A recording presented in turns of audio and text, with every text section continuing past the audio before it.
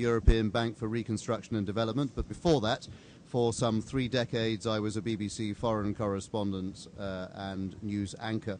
Uh, and we're here discussing in this workshop today the question of the safety of online media actors and what can be done uh, to improve the safety of online media actors. This is a joint open forum which has been proposed uh, by the European Broadcast Union, the Council of Europe, the OSCE and UNESCO in cooperation with the governments of Austria, the Netherlands, Sweden, also with the IFJ, the RSF and uh, other organizations too. It's a great pleasure to have you all here today.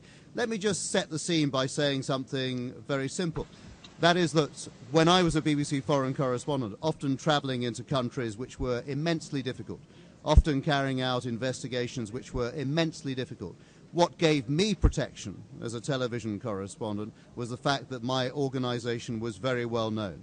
And it would have been a very foolish government that moved against uh, the BBC very openly or threatened a BBC correspondent very openly. It would have been very dangerous for a government to do this. No such protection, of course, is available for online bloggers. They do not have the protection of a large organization behind them, uh, and therefore what we're discussing here is how best to protect these people and to guarantee the, their safety when they are not uh, protected by large organizations. And we have a number of sessions today which will examine that. What uh, we also probably need to look at is in the anarchy of the internet, is that a protection for people? Uh, or does that give people who might oppose bloggers uh, the room to exploit the anarchy uh, in, order to, in order to move against them? Is it a question of laws that are required? Uh, or is it a question of implementation of existing laws? All our speakers will be looking today uh, at what can be done and why this is such an important area. And you don't need to be told just how fast this is a growing area of the media. Uh, I noticed today that, uh, for example, on Twitter, the American election results uh, is the most tweeted item ever in the history of Twitter. Uh, and in fact, uh, Barack Obama used Twitter to announce his victory first. Uh, he did not use the traditional media, and then that tweet became the most retweeted in Twitter history within minutes. So I think it shows just how fast the online stage is moving uh, and why something needs to be done. I'm going to start by asking uh, Nils Muižnieks from the uh, Council of Europe, the Commissioner for Human Rights, to, to say a few words and to set the scene for where we are today. Nils. Is this working? Yes. Uh, thank you very much. Excellencies, ladies and gentlemen, dear colleagues, it's a great pleasure to be in Azerbaijan for the first time, and I hope that this will be the beginning of an intimate relationship where I will come regularly to address human rights issues in this country. Uh, I'm particularly pleased to be here to discuss uh, internet and freedom of expression uh, and the safety of online uh, media actors. This is a topic that I think will be uh, very important in the coming years, and I intend to address it in, in many, if not all, of the 47 member states of the Council of Europe. Um, in recent years, online media actors have received the most prestigious human rights awards in the world. Uh, the Nobel Peace Prize, the Sakharov Prize, uh, the UNESCO Guillermo Cano World Press Freedom Prize, and this is no accident. I think it reflects the rise of the online world, which is no longer a virtual world. It is the main public space for developing democracy, not only in places like Azerbaijan, but I think increasingly throughout the world. Uh, this, the rise of this online world, which is still, the contours of which are, are still quite vague, I think uh, presents new opportunities, but also challenges and, and many risks uh, for human rights advocates. I think we, it's clear that the internet is critical for freedom of expression. Uh, social media have played an, an absolutely essential role uh, in terms of uh, ensuring freedom of association and freedom of assembly. They mobilized human rights activists and, and watchdogs uh, in many countries. Uh, at the Strasbourg World Forum uh, for Democracy a couple of weeks ago, Mikhail Zygar, uh, the editor of an independent Russian TV channel, argued that social media was actually building civil society in Russia. Uh, but at the same time, the openness of the inter internet uh, has been manipulated and obstructed uh, through various measures, including blocking, filtering, monitoring, and other means. Many bloggers and online media activists have been threatened and prosecuted. I met several of them yesterday in Kurdakhani. Uh, and this is true not only in this country, but in many countries. Um, I think we need to rethink the governance of this new public space to ensure the human rights of internet users uh, and the safety of online media actors. Now, the Council of Europe, which is a Europe wide uh, forum uh, to create uh, a common democratic and legal area, I think is pretty well placed to make a good contribution in this effort, of course, in cooperation with our partner organizations. but I think the, the, Council of Europe has a special niche in this endeavor. Um, first of all, because we have the legal standards uh, embedded in the European uh, Convention of Human Rights and the European and the case law of the European Court of Human Rights. And the, the European Convention protects the physical integrity of online actors through the prohibition of torture, inhuman or degrading treatment, uh, as well as the rights to liberty, uh, security, not to speak of the right to, the right to life. It protects free expression uh, and association uh, in the internet as well. Uh, now, the European Court of Human Rights has recognized the role of the internet in, in enhancing access to news and facilitating the dissemination of information, and it has concluded that states have a positive obligation to create an appropriate regulatory framework to ensure journalists' free expression on the internet. Uh, the Council of Europe has also adopted several specific standards uh, applying to the internet. Uh, in March of this year, uh, the Council of Europe adopted its internet governance strategy uh, to, protect, to protect and promote human rights, the rule of law, and democracy online. This strategy is to be implemented over the next four years, from 2012 to 2015, in cooperation with all stakeholders, with the private sector and civil society as well. Uh, by the way, I, I, was approached by several civil society actors at this event uh, who reported that they had tried to contribute their country knowledge and expertise uh, in this event through information uh, that they had prepared that they wanted to distribute and were not permitted to do so. And I think that we have to remind ourselves that protecting freedom of expression uh, is a joint endeavor for all of us, uh, for civil society, for international organizations and for national governments. Uh, as the Commissioner for Human Rights in the Council of Europe, I've identified uh, the internet and uh, internet and human rights as a priority theme. Uh, when monitoring the 47 uh, member states, uh, I intend to pay particular attention to the openness and safety um, of the internet. I want to assist member states in complying with their obligations under the European Convention on Human Rights uh, so that they refrain from violating the rights of online actors, uh, protect the physical integrity and right to liberty and security by preventive measures and adequate and an adequate legal framework, uh, and very importantly, uh, in, to combat impunity, to investigate uh, and provide effective remedies for people who have suffered ill treatment.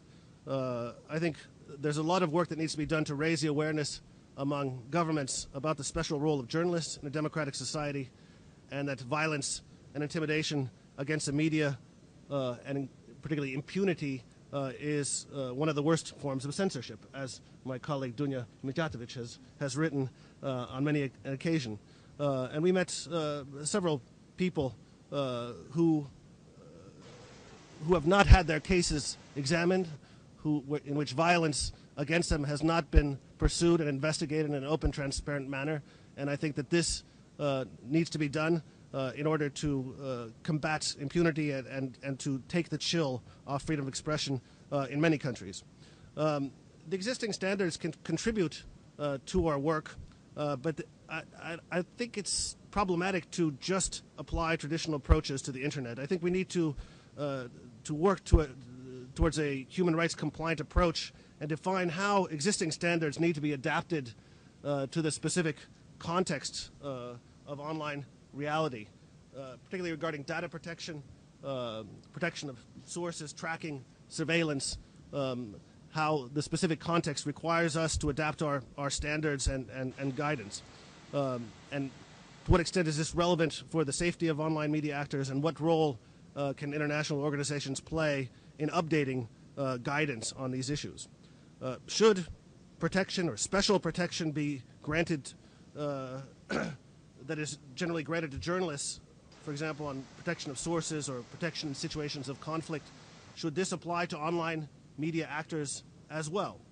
Uh, if they're working in the public interest, as they often are, by stimulating public debate, um, exposing maladministration, corruption, can they be denied the protection uh, that journalists generally uh, receive or should receive uh, in such contexts? Uh, another topic, I think, is the link between the safety of media actors and the protection of the internet itself uh, as an open space for freedom uh, to receive and impart information. Doesn't the safety of online media actors depend on privacy uh, on the internet, and how can we work to maintain it?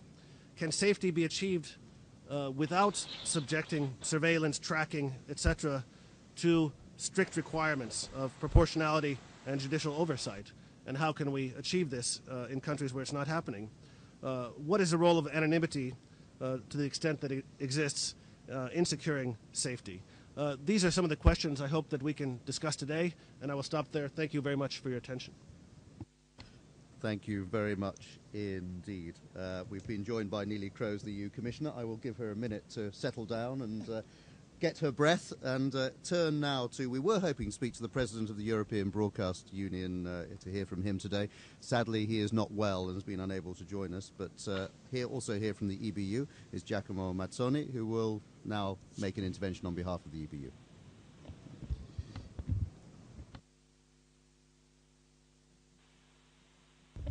Yes, now it's okay. Perfect. Um, Jean-Paul Philippot is sorry to not to be with you today, but uh, what is important is that this event take place. Uh, as you remember, uh, EBU was here in May for the Eurovision Song Contest, uh, and we promised at that occasion that uh, we will not forget the problem that has been arising around the event. Uh, so we are here back in order to reflect how better we can improve the situation in this country, how uh, this could be improved through the relationship with the institution and with the professional bodies that uh, insist in this field. Um, Azerbaijan is one country that uh, is in transition to democracy. Uh, is a long process, and uh, we have uh, a certain experience in that. And around the table, we gather other people and other institutions that could do the same job. And we are here in order to uh, try to identify what are the best solutions. Um, you would wonder why broadcasting world is interested in the online.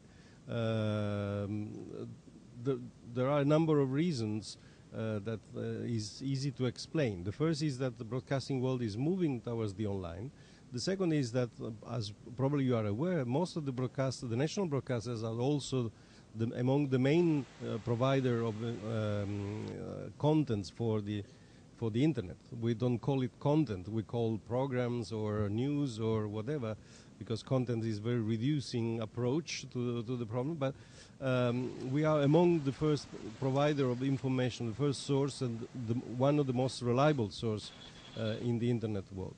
So for us, what happens in this world is important, uh, especially for certain countries where um, we cannot rely on um, official information. We need to rely on other sources, and the internet uh, and the online world is one of the main sources for that. Uh, this creates a, a, supplementary burden for our journalists in the newsroom to double check uh, what uh, comes from the user generated content, but we see that more and more in some certain countries this is the only way to get information.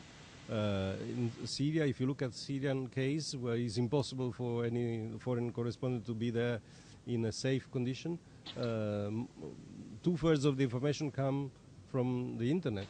And the problem there is the reliability and how to check and how to inform. So we, we need to act soon in enhancing the protection for uh, journalists that could act not only in, in country at war, but in normal countries where difficult situation arise, to have the uh, standards of protection enhanced uh, and not to be penalized because they are online journalists and not journalists uh, on the traditional media.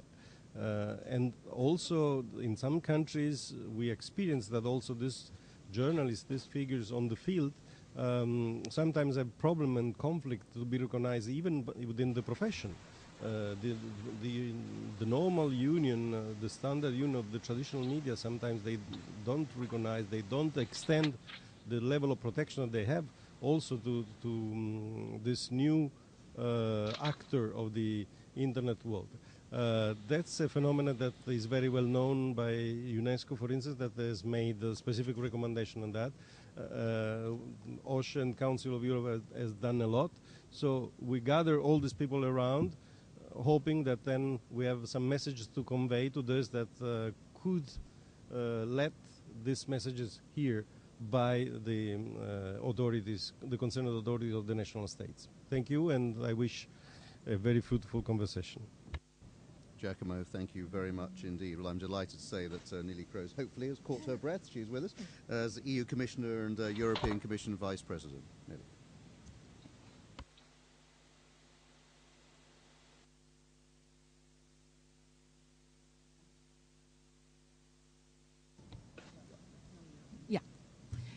Good morning, everybody. Uh, it is a um, pleasure for me to be in your midst and to get a lot of food for thought. And um, after my start of this day, uh, having a meeting with the president of uh, this country, um, I'm uh, in the mood, so to say, to get uh, a lot of uh, food for thought from your side. By the way, the European Union is not just a common market, and we are aware of that. Uh, and we are even more aware today than we were, so to say. Um, it is, by the way, also not just a, garden, uh, a guardian of peace. It is a place of fundamental rights, um, uh, rights that we treasure, that we protect, and assure for our citizens. And that, by the way, was recognized by um, the Nobel Prize uh, that uh, we got. Um, uh, anyhow, the announcement uh, it's still not hand over, but um, and I'm not saying that there is still a fight between three presidents, but anyhow, the prize will be handed over to whoever. Um, an excellent idea by, well, an excellent idea by one of my colleagues, but that's just between you and me, was to invite uh, from every member state a kid and then uh, saying it is about the past and here is the future and let's go on. I think that should be a marvelous idea, but I'm not certain that those three egos, uh, they are male by the way, so that, that they would take that one. Um, but quite serious, the internet is not just a technology and it was already mentioned, um, uh, it's not just a space for business opportunities, it is a tremendous uh, um, opportunity um, in several cases uh, that are at stake. And the internet, by the way, is the new frontier of freedom and is a new tool to exercise this freedom. The right to self expression is safeguarded and championed by a free media and because a free media guarantees a way to challenge authority and expose abuse of power. It ensures awareness and tolerance for other views. And that is what is fascinating and that should be yeah, in the midst of our way of uh, dealing with the internet. Um, so ensuring awareness and ensuring the tolerance for other views, if safeguards liberty and human rights, then we are talking about main principles for a democracy. And in that respect, it's clear that journalists, bloggers, uh, activists, and human rights defenders are an instrument of democracy and holding up a torch to reveal acts of despotism. Let me give you just one example of how powerful the internet can be. I, anyhow, was quite touched by that example. And I'm sure many of you had the same experience when they were seeing or were reading about the amazing story of Malala Yousafzai. For several years, that Pakistani girl has been blogging about life under Taliban tyranny and calling for the right to women's education. Could it be more clear and could it be more uh, to the point, just asking for women's education? And when she started that exercise, she was 11 years old. Well, we are aware that that is really talking about a superior uh, personality. So a young girl with fierce, brave sense of justice is able to spread her story to the world. And that is fascinating too. So it's not only spreading her words in her local community, but it is all over the world, so to say. One young girl armed only with access to the internet, open internet, by the way, it is able to expose and challenge the Taliban. Give me another example that is so clear and so um, illustrating. The Taliban, by the way, were so scared of Malala, they attempted to assassinate her, but they failed, thanks uh, heaven. And that cowardly attempt to murder a 14 year old girl won't silence her and it certainly won't silence her message. And that is the power of free speech. And that is, in just a nutshell, a world of um, um, expectations, what can be done. So it is the power of free speech that we should give the floor and that we should use. And we should indeed be aware how powerful this, um, this uh, instrument is and that's how much we need it. Wherever it is, whether it is Pakistan, Egypt, or Syria, and sometimes closer to home, so to say, or here in Azerbaijan. Um, another excellent example, uh, Eynulla Fatullayev, an, uh, an Azeri journalist. Here, here. yeah. sorry. I, I first shake hands.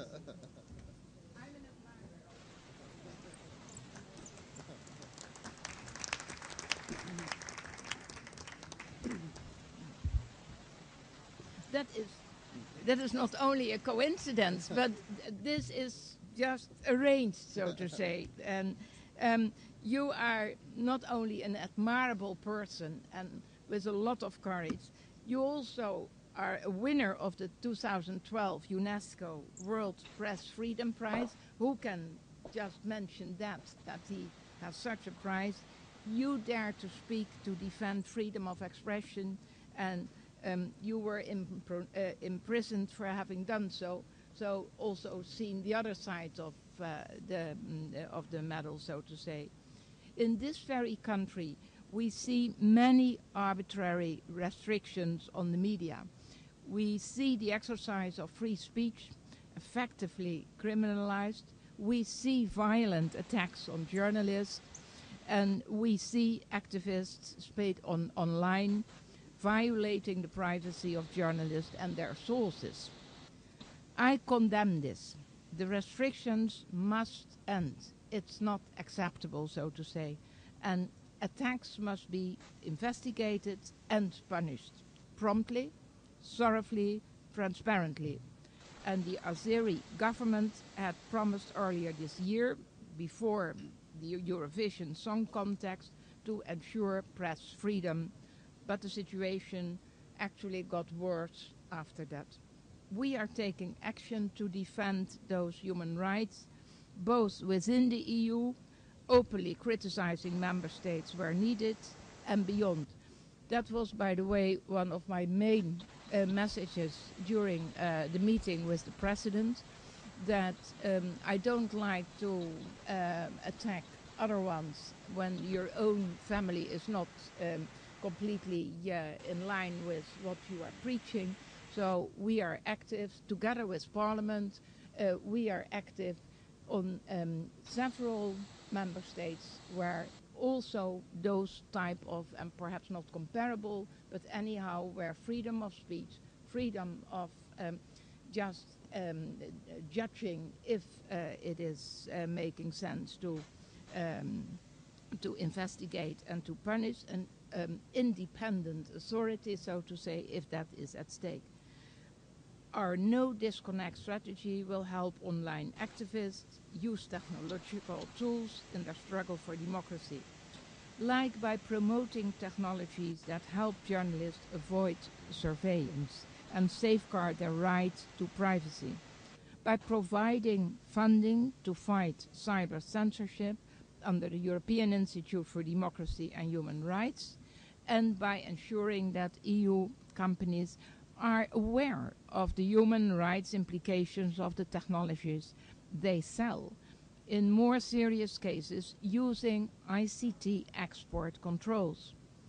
But, ladies and gentlemen, most of all, I want those in power in Azerbaijan and elsewhere to know that these repressive restrictions on media freedom of whatever kind are unacceptable. Legally unacceptable, members of the Council of Europe, including Azerbaijan, should follow the standards they have committed to. And I want to pass that message not only here and not only this morning to the president of Azerbaijan, but to everybody that is involved in this whole uh, type of discussion. To deprive of human rights, not just journalists and bloggers, not just their sources, but the citizens who have right to know the truth is not acceptable. And it will not serve the economic growth of the country. A free internet, a free country, is also the path to a more prosperous future. Violations of media freedom don't stand alone. They are linked to failures in other human rights too, because a government that arbitrarily restricts the media is without doubt restricting other freedoms too. A government with nothing to hide would not fear people exposing the truth. So I welcome the discussion of today. Um, it underlines our determination and all of us to protect a free and open media. And I'm here to listen to you, to get the food for thought, and to learn what you think needs to happen. And I hope that between us we can ensure that we keep alight this flame of freedom and fundamental rights in Azerbaijan, but also throughout the world. Thank you. Commissioner, many thanks indeed. Very thought-provoking uh, intervention. Now we go to roundtable one, which is about internet-based media and safety of journalists. Uh, we're going to have a number of uh, speakers. Uh, Guy Berger from UNESCO uh, in a minute. Eynulla Fatullayev, who is here with us, who, of course, as Neelie mentioned, is winner of the UNESCO 2012 Award for the Freedom of Press. Uh, joining us remotely, we have uh, Jim Boumelha, the uh, president of the International Federation of Journalists, and also Christian Mihr from the uh, Reporters Sans Frontières, uh, Reporters Without Borders organization. Uh, here with us, we have Lionel Veer, the ambassador for human rights from the Netherlands, and Bill Echikson, who is Google's head of free expression for this region, for the EMEA region. so we welcome them, but we start, and of course, you'll have a chance to put some of your questions as well. Guy. Uh, thank you very much and greetings everybody. A, key part of internet freedom is freedom of expression online. It's relevant to all online actors, but for UNESCO it's especially relevant to those who do journalism online because journalism, whether it's online or offline, is a very distinctive form of exercising freedom of expression and one that makes a unique contribution to society. We know all too well that the exercise of freedom of expression is not without danger. Over 500 journalists have been killed in the past decade, and in 9 out of 10 cases, their murderers have gone free. According to the last biennial report of UNESCO's Director General, 62 journalists and media workers were killed last year. And the list has increased dramatically. This year, by November already, there were more than 100, from 62 last year to more than 100 already this year. There are new types of threats on the rise. They extend far beyond the conflict areas and they are often linked to non-state actors such as organized crime groups. The online realm is also not free of risks and there are dangers specific to this platform. Take, for example, hacking and destruction of media websites, illegitimate surveillance of e-communications, and jailings for online postings. Then there are email death threats. Most recently, for example, I heard in Pakistan, editors are receiving death threats from the Taliban for their coverage of Malala Yousafzai. Worse, of course, there are killings, there are murders of people doing journalism online. Now, according to the Committee to Protect Journalists, out of 50 of those journalists who were killed in the first half of this year, 17 of those 50 were online journalists. And according to Reporters Without Borders, 39 netizens and citizen journalists have been killed this year. The effect of these killings, which are the ultimate censorship of the individuals, individuals who are so exterminated, is to intimidate many others who make use of online communication platforms to, inter, in, to exercise their right to press freedom. It is a chilling, a chilling curb on their liberty to publish to an audience via the internet. In the online environment especially, UNESCO believes that there's a common interest in safety between the journalists who are based in media institutions and everyone else exercising freedom of expression on the internet, even those who do not uh, do journalism but merely contribute personal news and views. This common interest is because the emerging forms of online censorship and attacks against freedom of expression do not only affect one constituency. Arbitrary blocking and filtering, criminalization of legitimate speech, jailings, unwarranted surveillance, and violations of privacy these are ills that are inflicted upon internet users at large. In addition, the work of the journalism professionals can only be at its best in terms of serving society when their sources are free of fear, free of fear to provide information both online and offline, and when the sources are confident that their confidences can be safeguarded, not least when there are electronic records on a laptop, a server, or communicated via a cell phone. The audience of online media should also be free to access and interact with the stories of journalists. It is in, this, it is in the light of these points that bloggers and other occasional contributors to journalism should be able to count on the solidarity of their professional media counterparts and vice versa. As I said, a key part of internet freedom is freedom of expression online, and particularly by those who contribute journalism. For UNESCO, this is critical because our Constitution mandates us to promote the free flow of ideas by word and image, both online and offline. Here are some of the ways in which we seek to do this that have relevance to the safety of online practitioners, practitioners of journalism. First, one of our priorities is to coordinate the recently developed UN Plan of Action on the Safety of Journalists and the issue of impunity. This plan is a way to reinforce our objectives by working in cooperation with other UN agencies, programs, and funds intergovernmental organizations, professional associations, NGOs, and the media industry. We will be listening very carefully today to how the contributions can assist us in integrating the online safety components into this UN plan, particularly as we translate it into concrete action. Later this month, we will meet in Austria, courtesy of the Austrian government, to develop the implementation strategy for the UN plan. Our second act activity to protect the safety of online actors and particularly those who, protect, who uh, practice journalism is to research and document the challenges and good practices related to this. Building on studies that we have already done about online uh, regulation, balancing freedom of expression privacy, and so on, we are going to be launching an online study on safety in coming months, thanks to the support of the Danish government. We are also working on gender and, and safety, including online, uh, with support from Norway. And we will produce in November next year for the 195 member states of UNESCO a world survey in trends in freedom of expression and safety, including online safety. Ideas and information and contributions to this research are really welcome. Our third area is spreading awareness and bringing more actors on board. We strive to mobilize the public about this issue. For example, in our activities around World Press Freedom Day, and also coming up the International Day to End Impunity on the 23rd of November.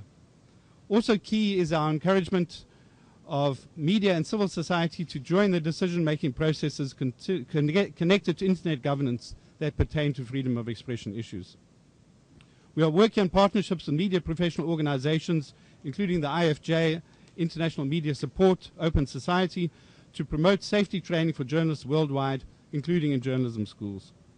Many other stakeholders can and do create awareness about all these issues, and they provide training, and we look forward to working closely with them as we move ahead on this. Fourthly, we work to support the 195 member states in ensuring that the laws related to the Internet meet international standards. Of course, you all know this, I won't go into them. But beyond the legal frameworks to protect freedom of speech, there must be a true will to implement them. Therefore, UNESCO calls on our governments continuously to respect these principles in connection to the online and also offline expression, not least in regard to blocking and filtering surveillance, whether these are done directly or indirectly by government.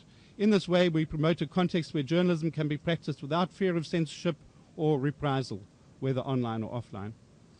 Lastly, we note that in addition to showing respect for the international standards for protection of freedom of, of expression and keeping restrictions to a minimum, individual states can and should go further so that they also actively defend online freedom. This can mean encouraging their peers to show respect for international standards. It can also mean working with safeguards concerning intrusion to secure websites about uh, against cyber attacks. Finally, it can include the development of policies concerning the sales of hardware and software to clients who use these tools to violate freedom of expression. Well, in conclusion, UNESCO believes that many stakeholders working together in these kind of ways that we, uh, for example, are working can help ensure that the safety of journalists can be secured. The points I've covered in summary are building the UN plan of action, the research, the documentation, the awareness raising in the coalitions, the international standards res being respected, and defending online freedom of expression. The aim should be that cyberspace is able to be secured as a realm of maximum pluralism, and within this, a place where high quality use of freedom of expression, namely journalism, can freely function in order to, to fulfill its potential contribution to the benefit of democracy, development, and peace. Thank you. Guy, thank you very much indeed. And uh, now we're going to hear from Eynulla Fatullayev. Maybe it's very interesting for all of the participants uh, to maybe research to study about the situation in Azerbaijan at first because we're discussing the uh, situation in our country. Uh, uh we're uh, discussing the internet uh, in Azerbaijan. You know, it's very difficult to imagine how a journalist works in a non-democratic country, where state bodies activity is not transparent, and where the corruption has turned from problem into the system. Unfortunately, already in our country, corruption has turned from problem uh, into the system.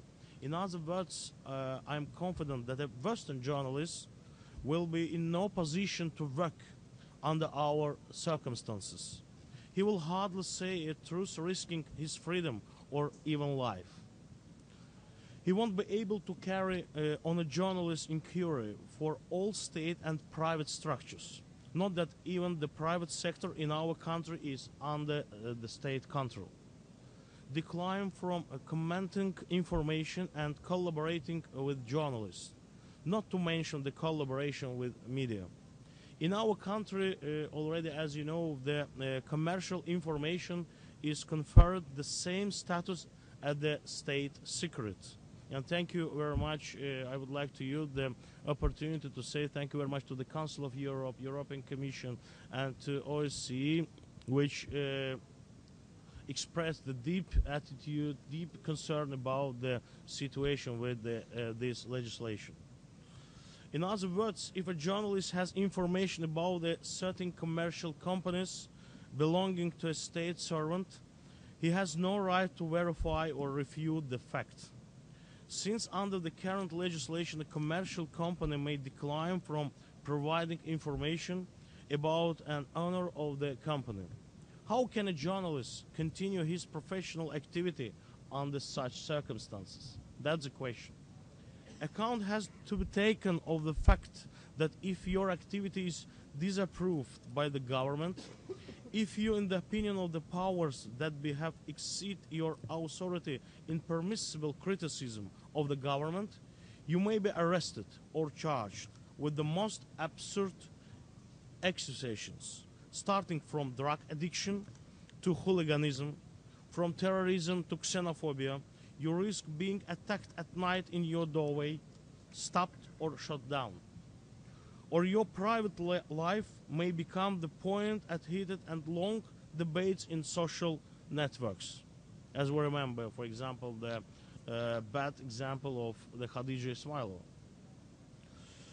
In the other words, if a journalist of our country realizes his responsibility to the reader and start telling the truth, he's sure to face with mechanism of repressions. After, he, after this journalist has been repressed, the reader is likely to forget about him. I remember it in prison. He would shake his head, express his regret, and consign him to oblivion. It will last until a new journalist is repressed. For this reason, profession of professional journalists is actually dying out in our country.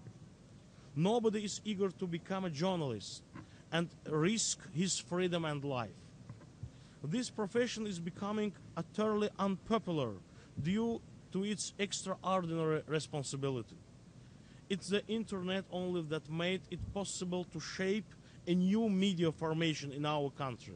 It's a people, it's a civilian journalism. In other words, the journalism of our country has assumed importance of civilian responsibility.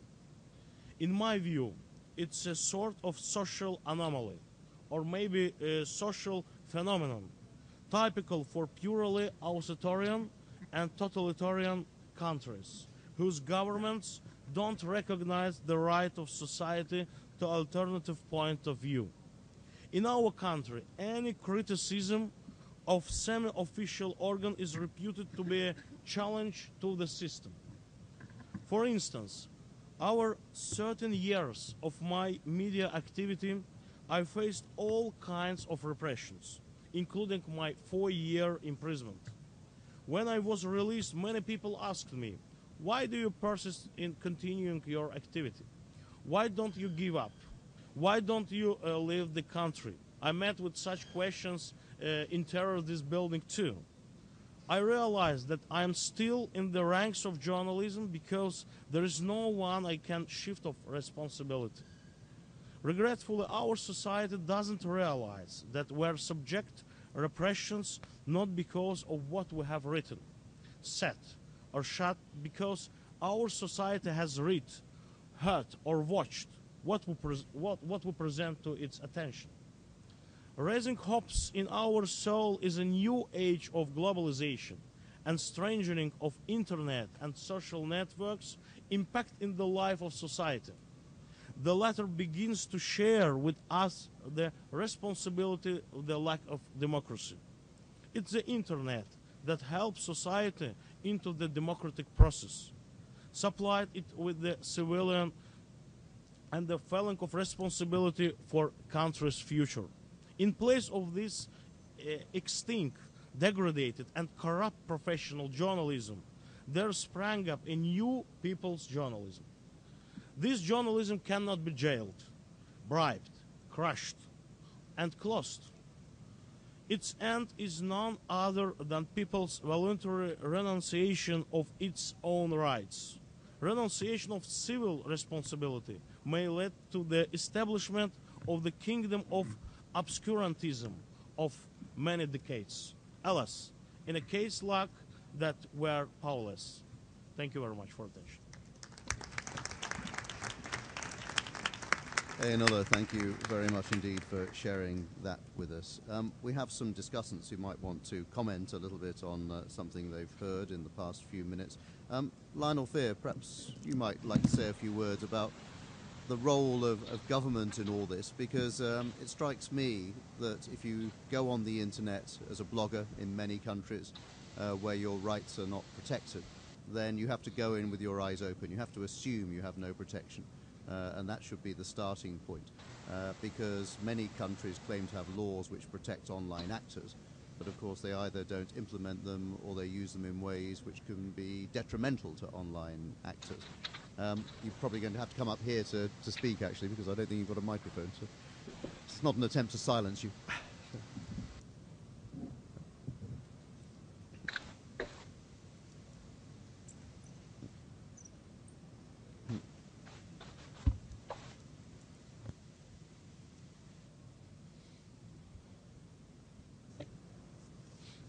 Okay, thank you, Jonathan. Yes, indeed. I think as a government who is very active on this, the Dutch government uh, is not alone, not only trying to promote this idea of, say, basically the, is the, the fact that we say whatever rights exist offline also have to be guaranteed online. And I think uh, we're trying to use these words safety, but basically we're talking about, uh, point to the opposite, we're talking about violations of human rights. And in that sense, sad to say there's nothing new in the world. Violations have been going on for decades, and the, in the online world, this continues to happen. And we think, on the one side, we try to push freedom online. We formed this Freedom Online coalition with countries who are trying to push this agenda forward on international fora, like in the OSCE, in the European Union, wherever we can, we try to push this agenda. But I think in this context of safety and protection, it's also important that we try to take on a very hands-on approach. Uh, so I think we invest a lot of energy, time and money in projects where we are actually trying to educate those journalists, online journalists, citizen journalists, how you want to call them, to better protect themselves. Because there's one thing you can do also, and that's a very practical side. How can you protect yourself online? How can you make sure that it's not so easy to track you down and, and shut you up in a physical way by putting you in jail like happened here in uh, Azerbaijan. And the other sense also we try to improve the quality because I think the other argument of the site is that when you have online journalists there's often a debate on uh, are they journalists? Uh, are they not just opinions uh, trying to do away with the information that is spread through the internet? And in this respect I would like to point out some three very clear and concrete examples of what we are doing.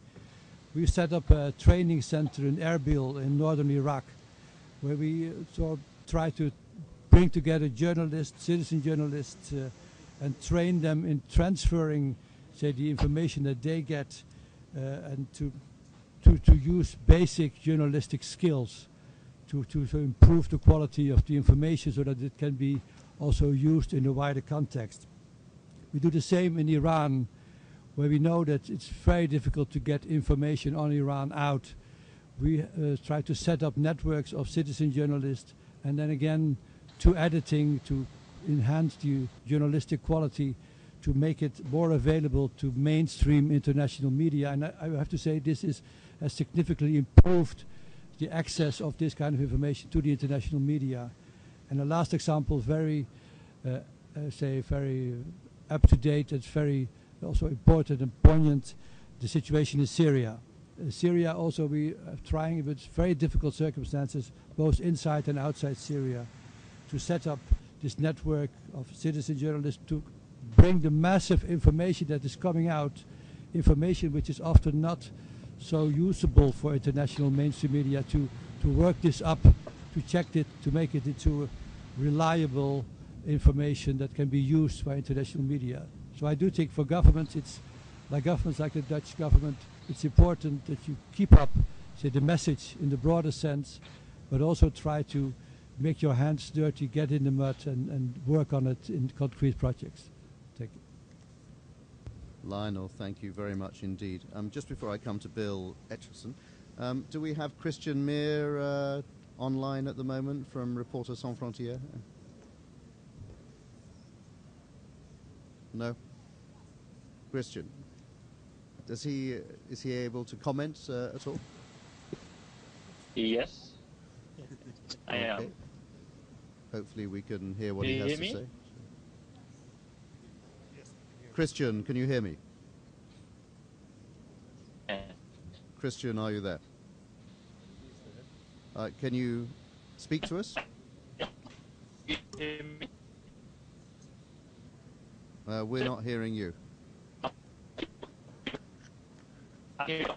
No.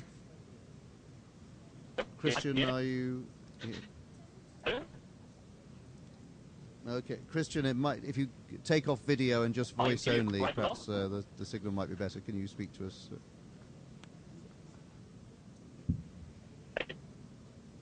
Okay, that doesn't sound so good at the moment. Um, Bill Echikson, uh, Google makes a big thing about the importance of freedom of expression. Uh, you, your title is freedom of expression, Yeah. but in expressing people, in expressing their opinions, are people uh, understanding? Do you think that they are not necessarily safe in some jurisdictions? So, it's work now? Good. So I feel this subject both personally and, and because of uh, the company I work for.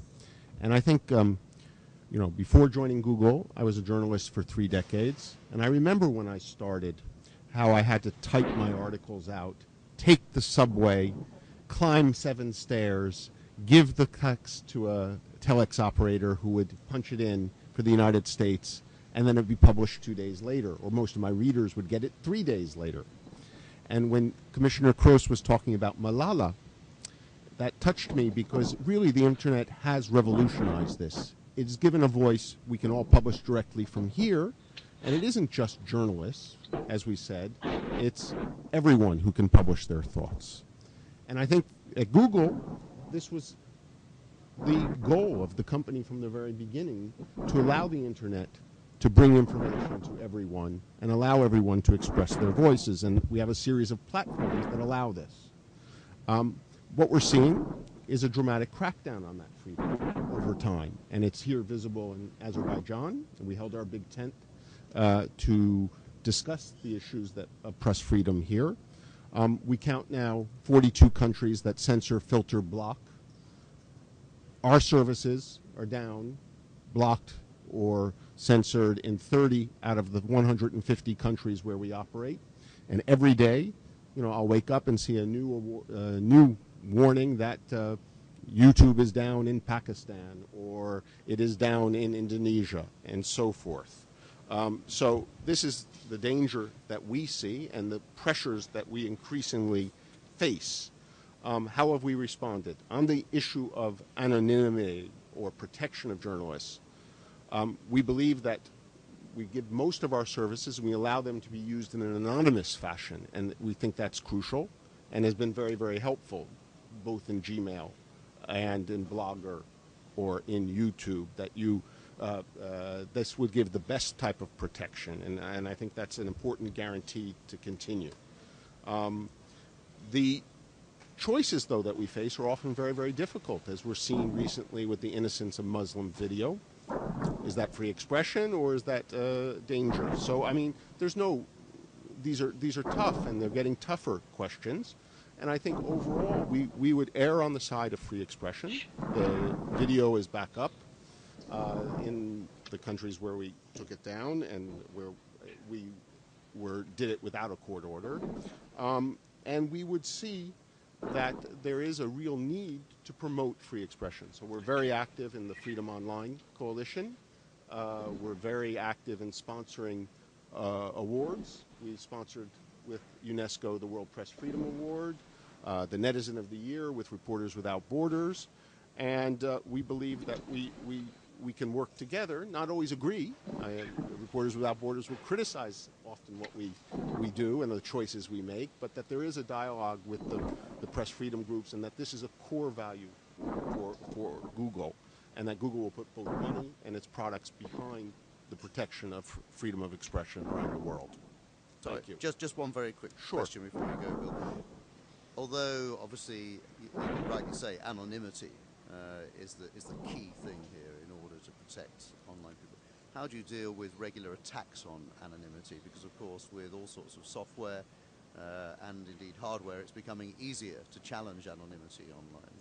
Well, I mean, we're skeptical of complete protection and security. Um, I think the journalists, the bloggers who express themselves have to take the responsibility in the end uh, for their actions, and that, you know, in many cases, this is a key issue that the platform should remain open and free as much as possible, um, but that so I'd say two things. One, in the end, the person who publishes is responsible for what they publish and not the platform. You can't attack the postman for delivering a letter. And that's a danger we see that it, increasingly it's easier and inside the European Union to, to attack the postman, us, the platform, than the actual, than go after the people that are um, actually writing the material that is considered defamatory or breaks the law.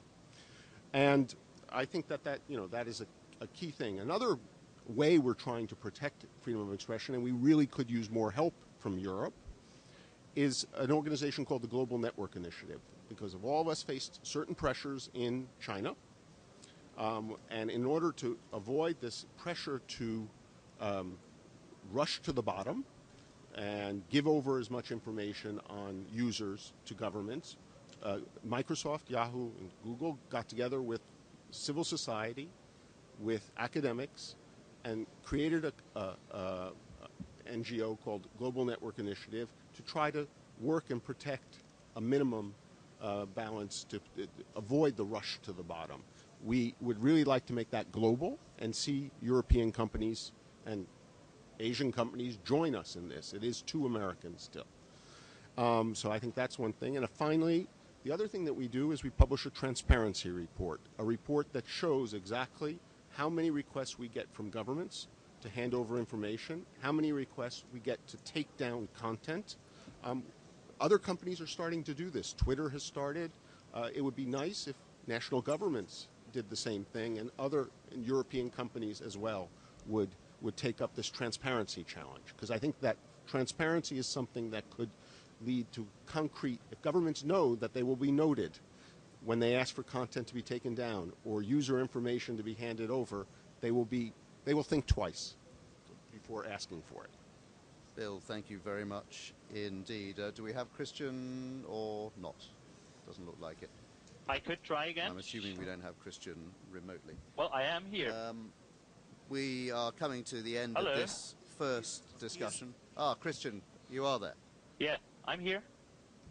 I yeah, can't hear you. I just wanted, is, is the whole event uh, taking place there in Baku um, is actually an event organized by several European institutions. I would just like to address some issues what we as Reporters Without Borders um, say regarding the European institution. As Neelie Kroes pointed out and um, all the others, uh, um, um, we would like to say that the European Union cannot really credibly promote and protect freedom of expression on the set uh, if it's on the net, if it's not safeguarded really Okay, that, that's very. Do you accept, Christian, that there is no such thing, though, as true safety? I mean, that can never be brought about, can it?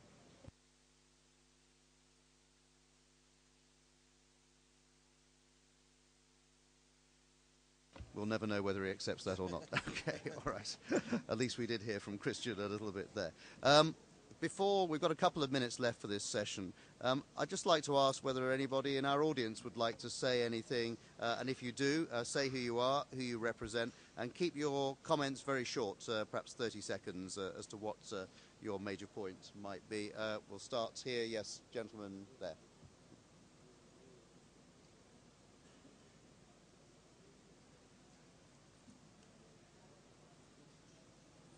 Now? Yes. Okay. Uh, my name is uh, Omar Mansour Ansari, and I'm from uh, Afghanistan.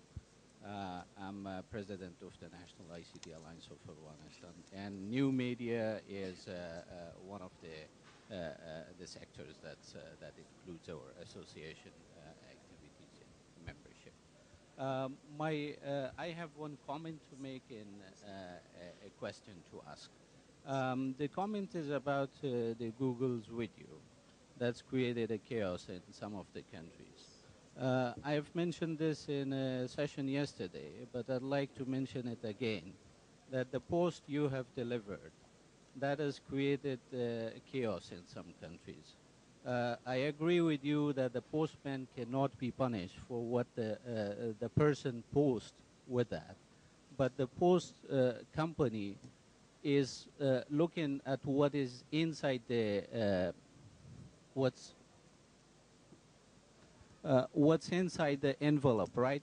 You cannot post a gun. ho- I hope you not. Cannot I hope, drugs. I hope not. Because- I hope the post company is not looking at my mail. Because uh, That's no, not- no let, let me finish. Let me finish.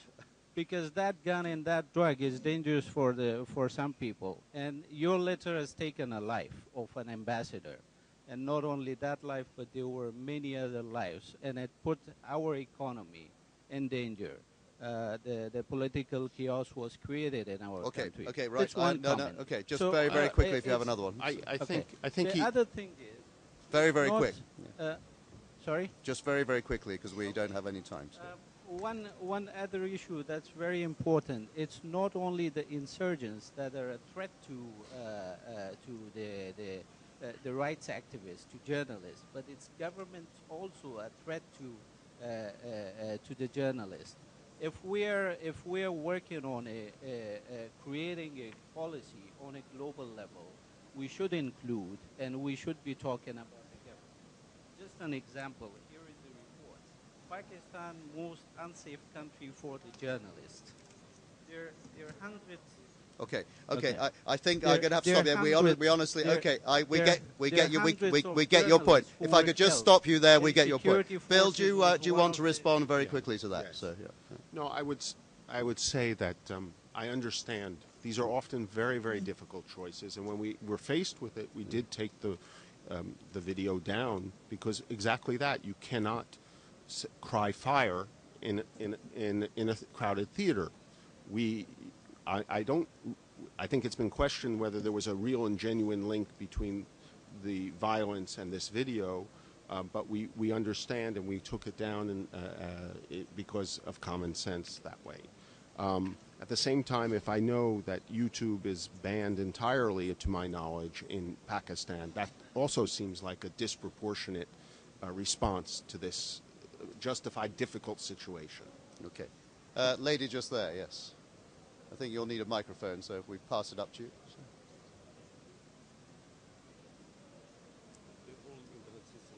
Yeah, I gather that.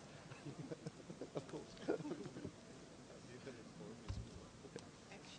yes.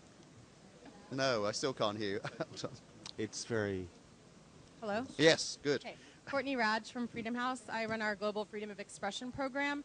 And a couple of things I wanted to raise. I think that this focus on journalist security is important, but let's not get too caught up in who is and who is not a journalist because we don't want to encourage the accredit, you know, the need to certify who is a journalist and who gets to make that decision.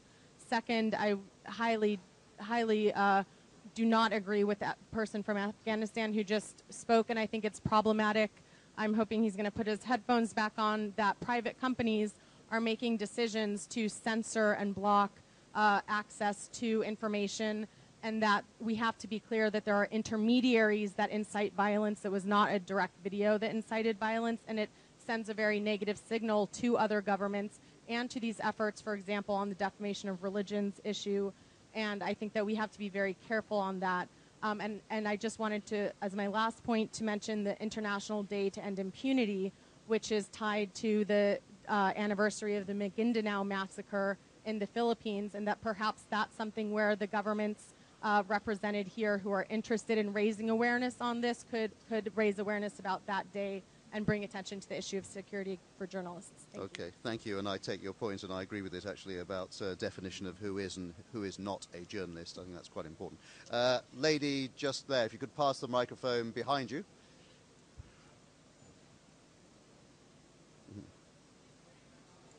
Uh, we can't hear. you. Sorry, it's. Uh,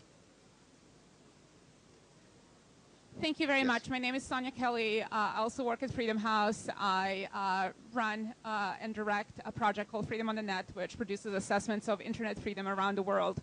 One of the key issues that we have identified in this year's report is uh, quite relevant to today's discussion, and that is that in 19 out of 47 countries that we examined, uh, journal- online journalists, bloggers, and online users have suffered uh, extreme forms of physical violence, including in five countries where at least one journalist, uh, online journalist or blogger was killed.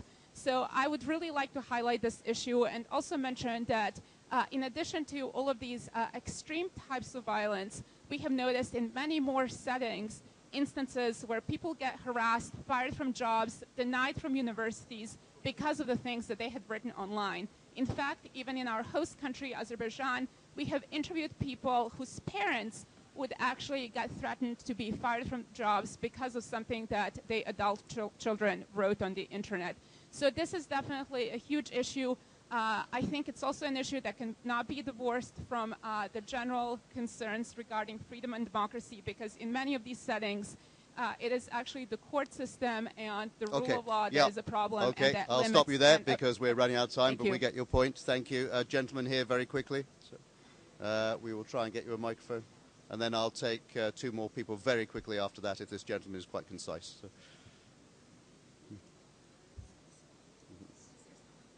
Oh.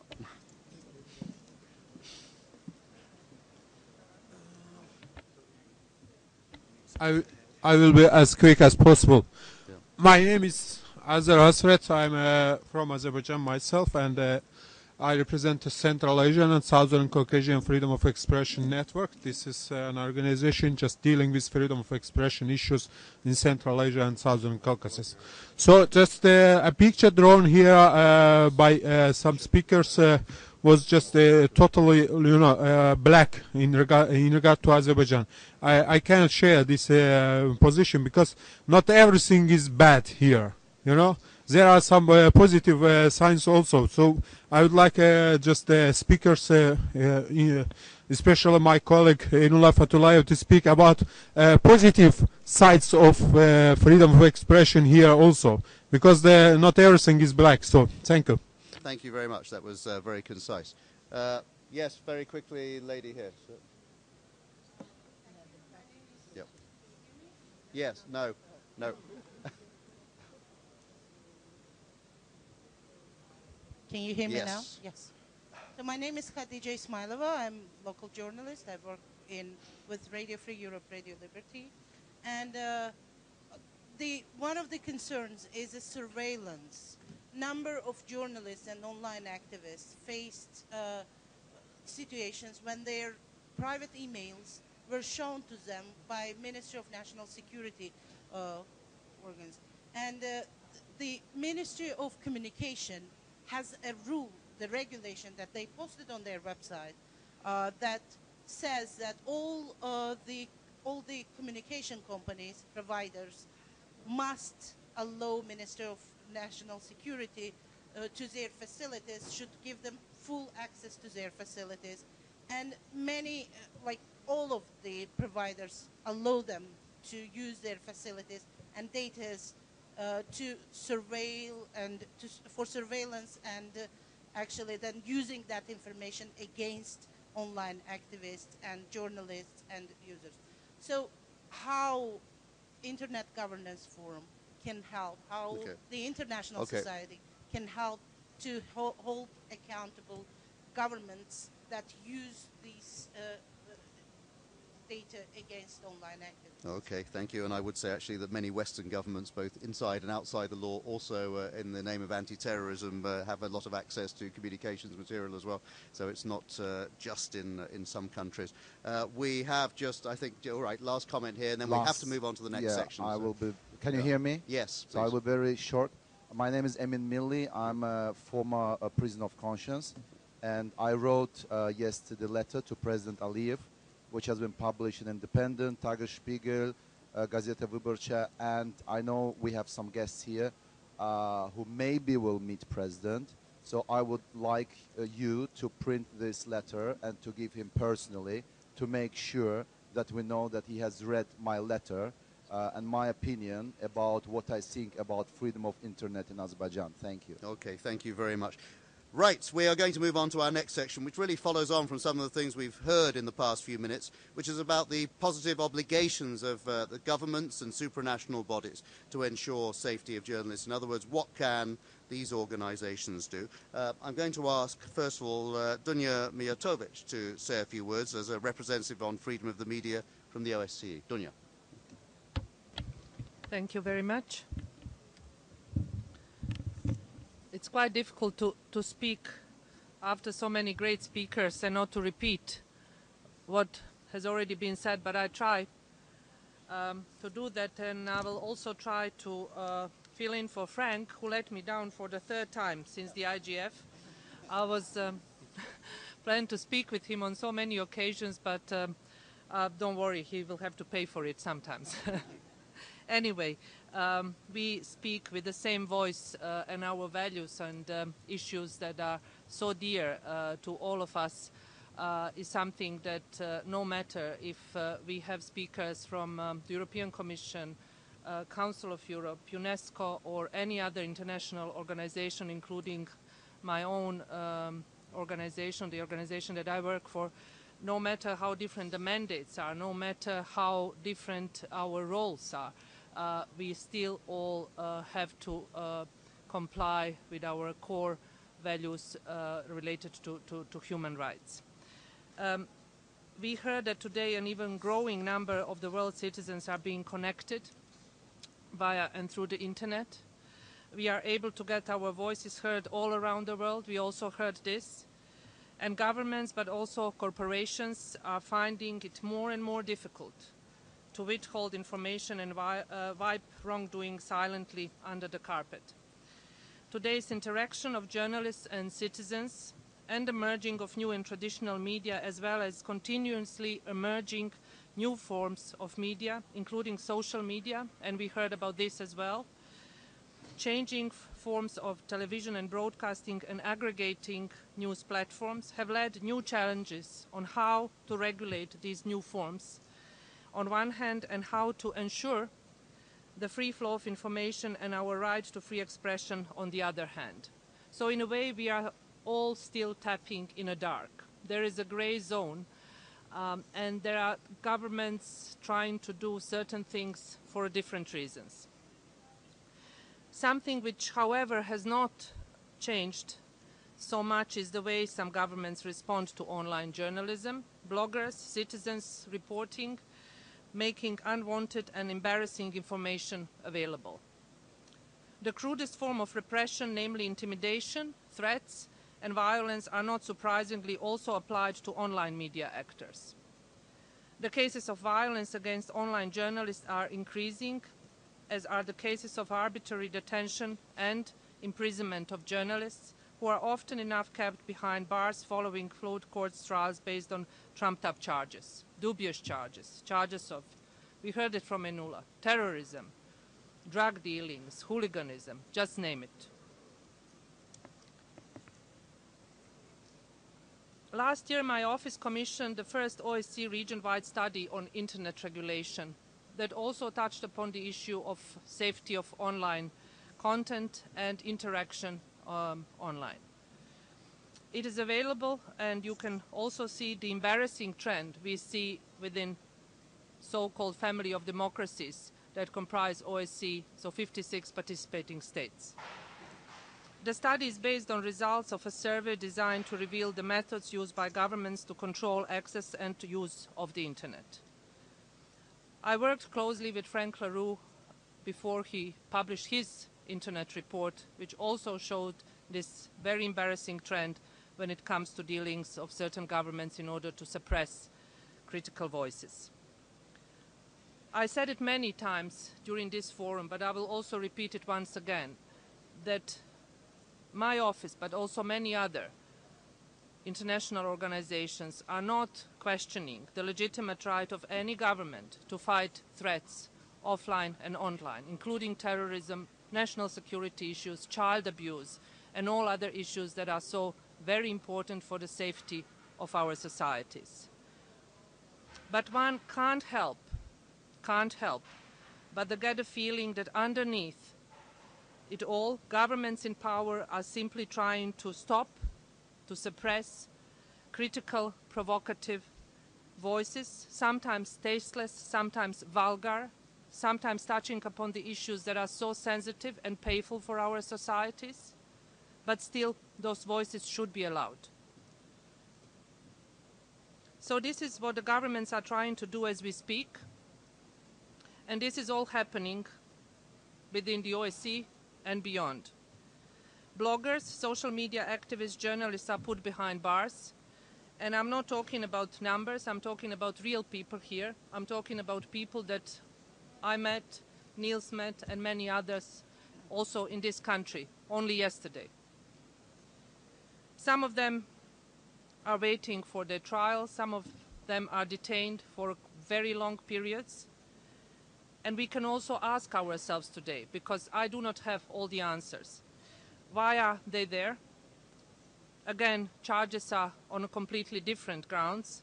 But if you scratch all those laws, if you scratch the reasons behind it, in most of the cases they are sitting there because of the fact that they were provocative and they were critical of the powerful, they criticized the powerful, and they were touching upon corruption in their societies.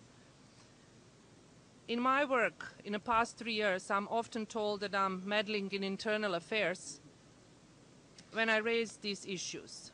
But I disagree, and I will continue to disagree as long as I'm performing this job.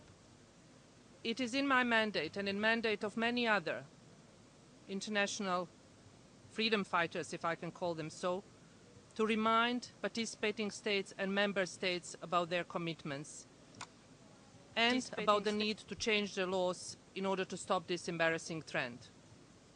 We all know that we already live in a digital age, a time in which we can create truly democratic cultures with participation by all members of society and in only a few years from now this participation will virtually include most of the world's citizens.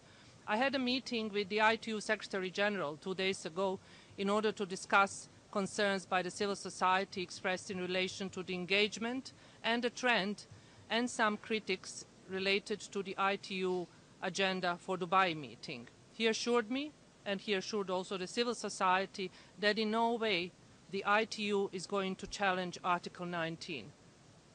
And I believe this is going to happen.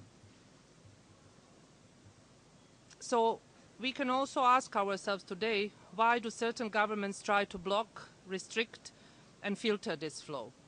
Why they are interpreting commitments and obligations in a different way than the countries that are known as the freedom lovers, if I can make so, say so. Um, trying to answer this question since I engage not only in these jobs but also in my previous professional life working in uh, the Balkans, in my home country in Bosnia and the region.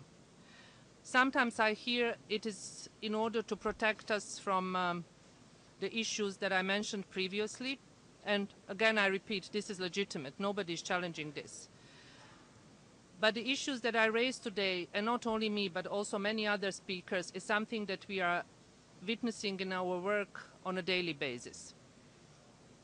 The second issue I would like to raise briefly is the issue uh, of safety of journalists, safety of bloggers, and safety uh, of uh, citizens reporting. Um, this topic is relevant offline and online for the OSCE, for the UN, for all other international organizations.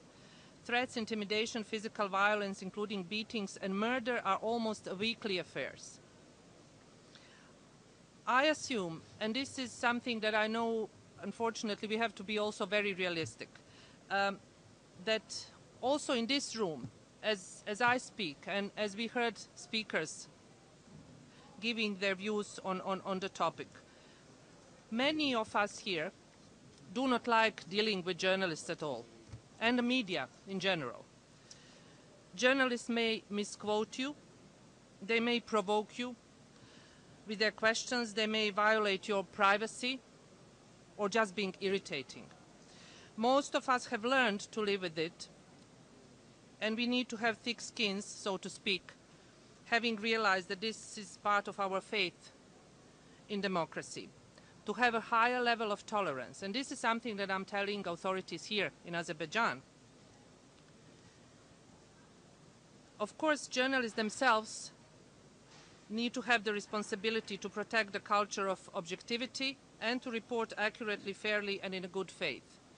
But even without being professional in all cases, continuing this embarrassing trend of practice of violence and intimidation against journalists can only take us back to the pastime of fear and repression. There is no other way. It is true that many of us who live in democracies do not always appreciate the importance of our freedoms, including the freedom to speak and to write, until it's too late. So sometimes I think we live, or some of us live in some kind of bubble, and we do not recognize the importance of this extremely valuable and important human right. There are positive results, and of course, the gentleman was um, speaking just a um, few minutes ago saying that everything is not black. Of course, it is not black, but in order to, to make it a bit lighter, there is a need for certain governments to, to move and to change some things, to stop once again the embarrassing trends. Everyone is talking about the image of certain countries. Everyone is saying that certain countries, you know, should not be performed or put in a, in a very negative light. But you cannot do that. You can simply do not, you do not have a possibility to say so if you know that there are people in prison for the work they were doing or for a certain articles or posts on a Facebook sitting in prison. For me, this is quite difficult. And I know that there is an understanding also by uh, Azerbaijani government, because we are here, this is a host country, that they need to do some changes. And of course, they can do it with the help of different international organizations. And what I really welcome is the open door policy. And uh, they will to engage with different international organizations in order to, to, to change this uh, uh, negative trend in relation to free speech. I will try to close by mentioning um, few more issues that I think are quite important.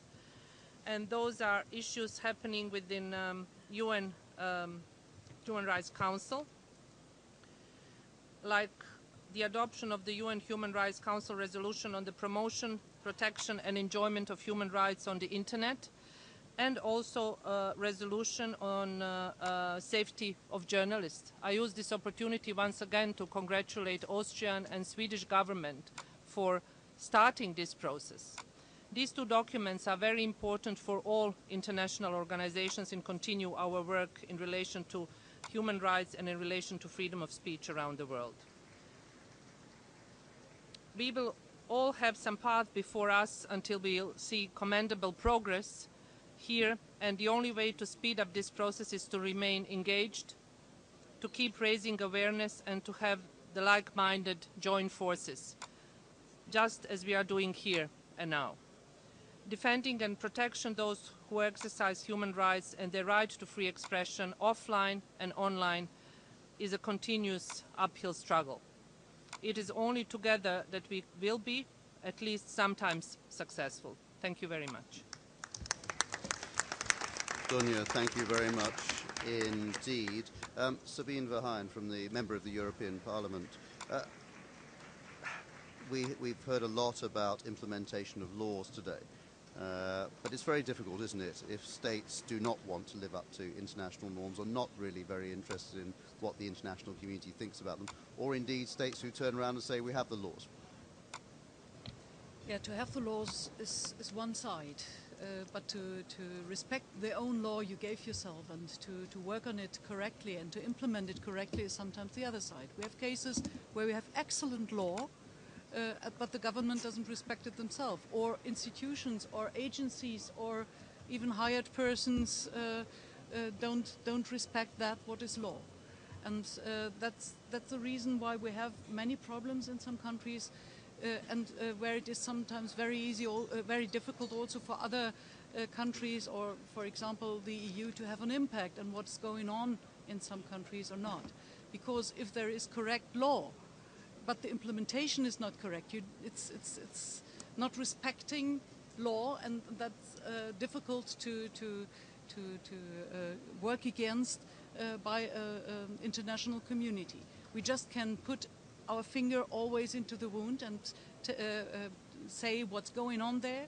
We can make it remarkable, we can make it uh, uh, visible, and we can talk about, and we have to implement it also in our negotiations in other political issues. If we have, for example, neighborhood policies, if, if we have a policy of uh, um, uh, coming closer to the European Union, candidates coming, uh, want to come, want to enter the European Union, and also international treaties, there the freedom of speech and the respect of freedom of speech and uh, to, to in, in, ensure and empower this all is always part of our discussions we have on the European level.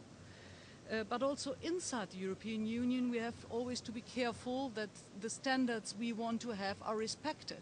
So, uh, one of the main issues we have to discuss during the next uh, years and uh, where we have to keep an eye on uh, is the uh, question of media pluralism, for example. Freedom of press alone is not enough to provide uh, a free information, a free flow, and free speech. Um, states have to proactively fight media monopolies. If true media pluralism is not given, journalists are hindered to actually pronounce the news they have researched, let it be because of corporate issues or economical pressure. Media should be plural for the purpose of enhancing a vast range of information and views at different topics, giving the opportunity to find the best way society wants to develop. Uh, the internet gives, on the one hand, the opportunity for this plural development in a very special way by lowering the barriers when it comes to publishing journalistic works. On the other hand, this is only the case if the medium itself remains egalitarian, open to all, and free of censorship, and in other words, neutral. And there also for us, there are challenges in the discussions we are leading or we are uh, having the next, the next month. Uh, for example, how shall the internet shall be governed in future? Is there a special uh, uh, responsibility on uh, uh, network providers, on intermediaries? How uh, is the role they play also in the in a new media surrounding and for freedom of, of speech. We heard about the example of Google taking out uh, of, of, YouTube uh, special videos. You can have different positions on that. What's freedom of speech? To say everything, uh, to, to, to say things you like or just to, to accept it. And there is also a big responsibility on these actors in this playing field. And we have a question sometimes also to answer how many power we give to governments, uh, having an impact on such companies, on service providers, on uh, telecommunication providers, because that is also a basis of uh, uh freedom of speech and uh, being, being also sure. How, what impact do we have in future, or does governments have to get information out of these uh, companies? We heard the examples.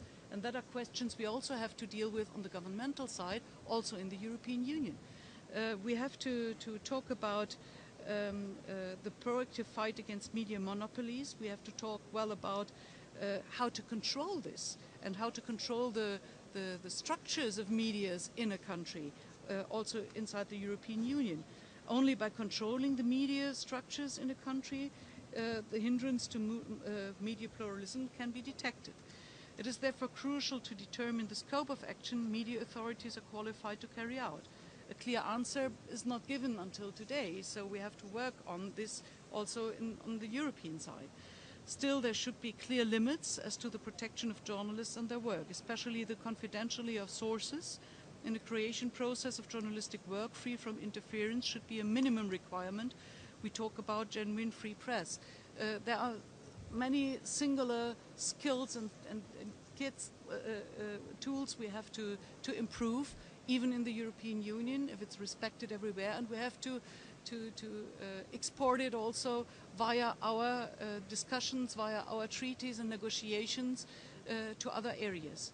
Uh, and what we have also uh, uh, in Europe is the responsibility to show where th things are going wrong and where not. And not just outside, but also inside the European Union. And Neelie Kroes knows that we had to, to improve uh, legislation also in the European Union if it's uh, comparable and compati uh, compatible to uh, European fundamental rights and European law. And I think uh, we have to, to be very careful that in a surrounding where freedom of speech should be yeah, as usable as drinking and eating and, and as, as normal as drinking and eating, these values are not laid down that we don't respect it anymore because we are used to it, to have it uh, for granted, and we have to work on it also in future, also on the European level. So, Sabine, thank you very much, and I would uh, draw attention, I think, to Voltaire at that point. I may not like what you say, but I defend your right to say it, and I think that's one of the issues, isn't it, about how far you take that quote. Uh, in, the, in the context of the issue that we're discussing today. Um, Johan Hallenborg is uh, from the Swedish government, uh, and I'd like him perhaps to say a few words now, as Sweden has clearly been very, very uh, evident on this issue, as we were hearing from Dunya. Oh, can't hear you. Coming through? Yes. Yep. Thanks very much. Um, yes, it is. It is quite correct. We've been been active on this issue for a while now. It's a, it's a priority in our foreign policy to work for what is broadly called broadly called internet freedom, but basically protecting and promoting freedom of expression and other human rights in the internet environment.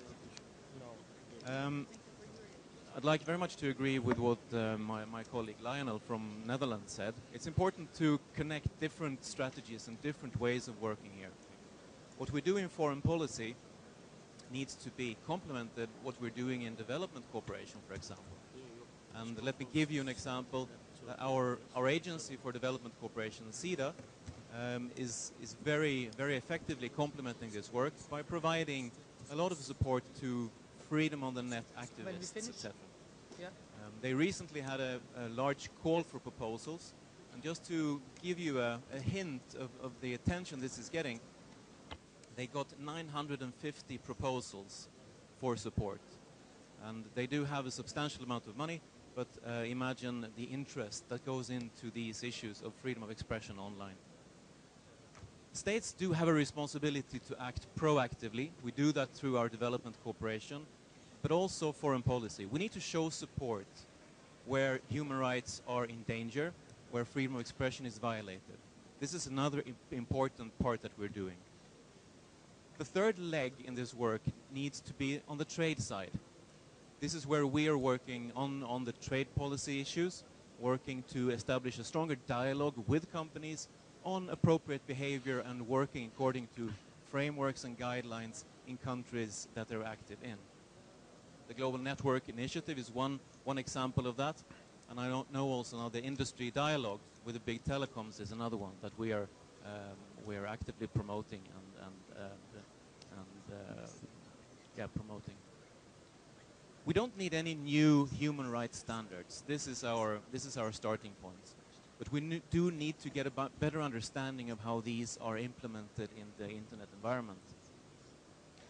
In this work, um, organizations such as the Council of Europe plays an important role, the OSCE as well, and we are quite active in both of them in trying to push the internet freedom agenda. We're also happy to see UNESCO being much more active, and we do also play a facilitating role in UNESCO in, in these issues. And perhaps as a, as a proposal to, to Guy on his earlier question is to link up UNESCO's work a little bit closer with what's going on in the Human Rights Council, um, which Dunja uh, reflected on. And this is also something that I would like to highlight. The resolution on the enjoyment uh, of human rights on the internet was adopted in July this year. It was a groundbreaking resolution where states universally affirmed that human rights apply equally on the internet as well as offline. Um, the resolution was adopted without a vote by consensus, meaning that there is virtually a, a universal backing of these principles. And this is important. Our challenge now is to bring this resolution into other parts of internet policy making, of course, such as the IGF. The other resolution which is important is protection of journalists. In that text, there is clear reference to online journalism and online media activities. So there is already a link between those two resolutions. I'd like to also to give support to our friends from Freedom House when they said uh, it's important not to label journalists. Um, I do have a great respect for journalistic profession, but I do it's it's sometimes dangerous to to require that journalists be labeled and put in particular compartments. Uh, the protection of freedom of expression applies to all, and it's equally important online as well as offline. So these are some of the starting points from, for, for our work. And uh, may I just um, end by giving a little bit of a commercial. Uh, my minister Bildt is uh, producing in, in this book uh, an article which is, uh, which is called um, the fight for freedom online, internet freedom, is the new frontier for freedom in the world. So um, to get a little bit more understanding of, of Swedish policy in our work, um, I would advise you to, to read this one. Thank you. Thank you very much, Johan. In fact, your minister is one of the more active ones as well on Twitter, I notice, as I, as I follow him uh, quite often. So he certainly believes in that freedom. Um, we have very little time left. I'd like to ask uh, Karklins, the Assistant Director General for Communication and Information at UNESCO, perhaps to sum up a little bit of uh, where we are after our debate this morning. Then after that, I'll just list a few action points that I think have come out of this this morning. So.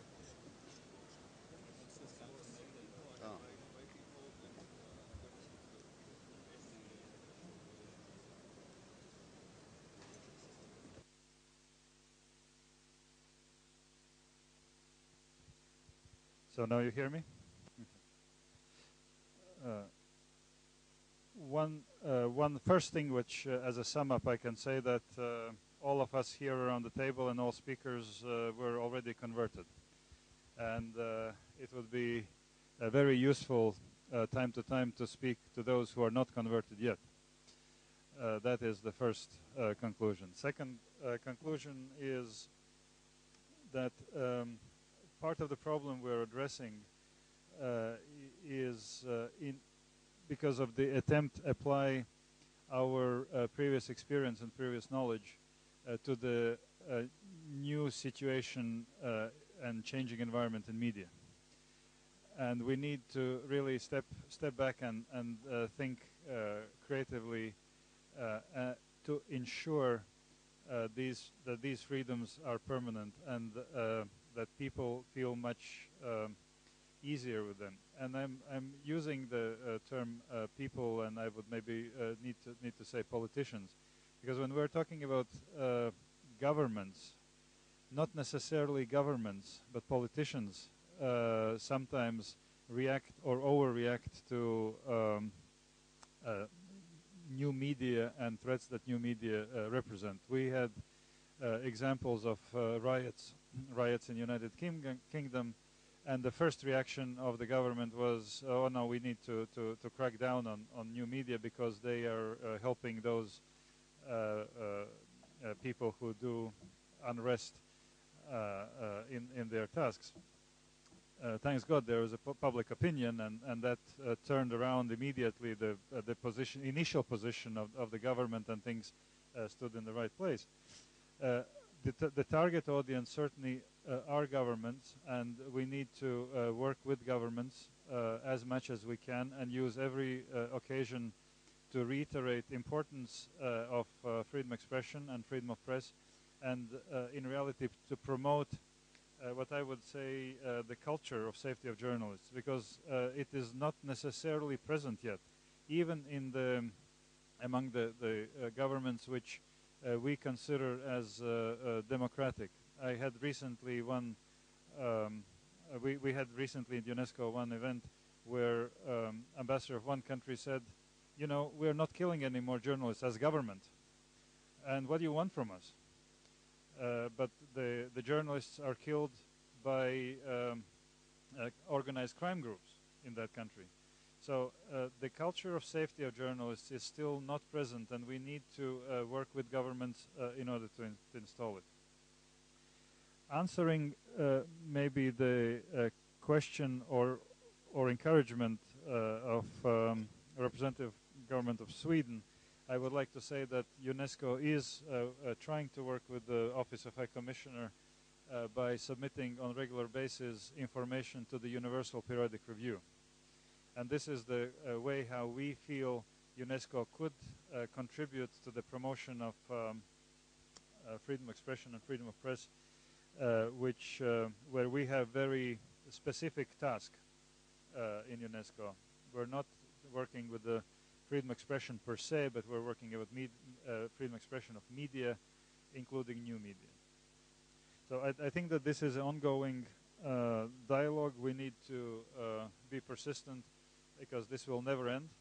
And uh, as uh, in the one of the previous workshops today, uh, somebody said the um, thing what we or our understanding what we developed five years ago today is not applicable simply because of technological evolution. And this is we're condemned to uh, revisit our understanding uh, time again uh, as technology evolves. So I'll stop here and thank you very much for inviting us to, to this discussion. Janis, thank you very much indeed. I notice the room is clearly, uh, people are anxious to get off to their lunch. Um, I'm not going to take any more comments from the floor. Let me just sum up then very quickly where I think we stand in terms of action points. There was clearly a desire today to see more training, uh, I think, for online actors. Uh, and that's something that Western organizations, international organizations, Western governments can do. Uh, there was a desire to see more implementation of the law. Uh, and indeed for international organizations, we heard it from the European Union uh, in many guises, to use whatever leverage they have uh, on countries which aspire to get closer to the European Union or to become members of the European Union or to have trade agreements with the European Union to use whatever leverage is possible to try to get better implementation of the law. There's a desire to make sure that protection of anonymity uh, remains the absolute priority. Uh, and that uh, IPP, uh, that service providers should understand that and should go as far as possible to do that. And there is a desire, I think, to understand that this is not about new legislation uh, which is required, but actually the human rights that are applicable offline are also the ones that are applicable online. Uh, and uh, people involved in this sector should understand that. These are all things that I think from today we can feed in to uh, the main session tomorrow on openness. Uh, the results of this workshop will be fed into that. Um, thank you very much for everyone taking part. Apologies to those I didn't have time to call. Thank you. Thank you. that was a good debate. Could have gone for another two hours.